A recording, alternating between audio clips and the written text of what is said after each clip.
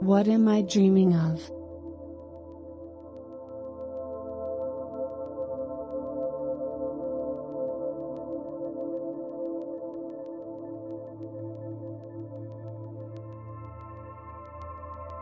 I am dreaming of a dreadful, terrible, sentimental picture.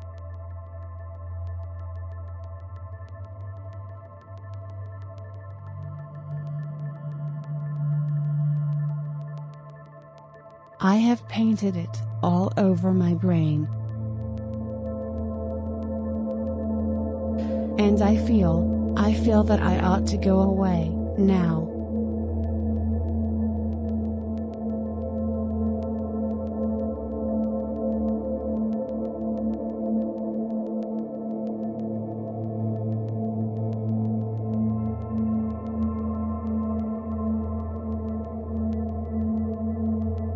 I have been noticing this for a long time.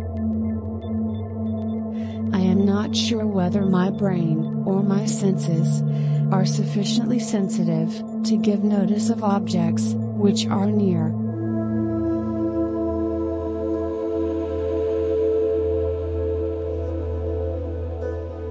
The feeling of distance is quite different.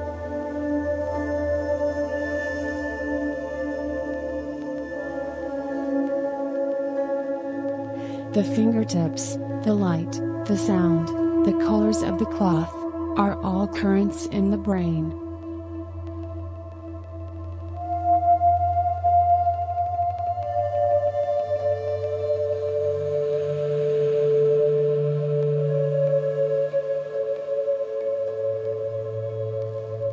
When we feel a thing, we are not compelled to think of it, but merely perceive it.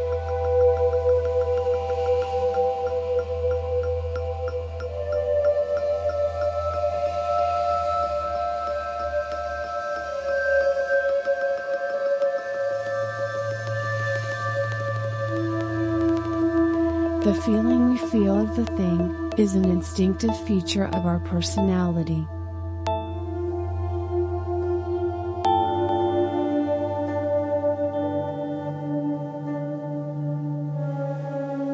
A few pleasant surprises await us in life.